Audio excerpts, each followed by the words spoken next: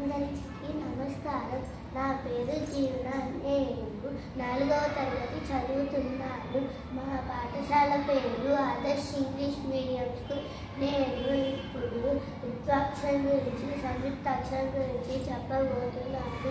మొదటిగా విద్వాక్షరం గురించి చెప్పబోతున్నాను. విద్వాక్షరం అంటే ఒక హల్లు కింద అదే దొత్తుగా వస్తే విద్వాక్షరం అంటారు. ఉదాహరణ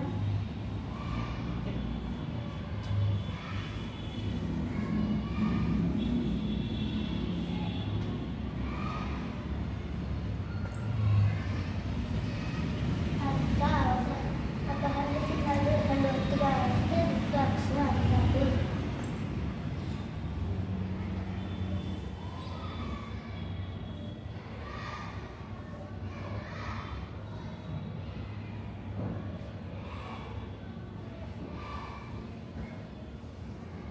అమ్మ హల్లు కింద అదే హల్లు ఒత్తుగా వస్తే విద్వాక్షరం అంట- అంటారు.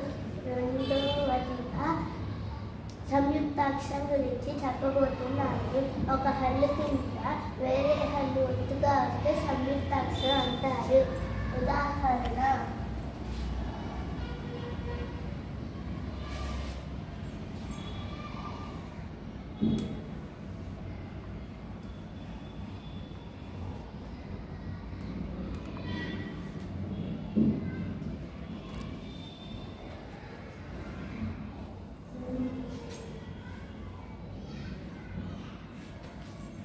పుస్తకము ఒక హల్లు కింద వేరే హల్లు ఒత్తుగా వస్తే సంయుక్తాక్షరం అంటారు.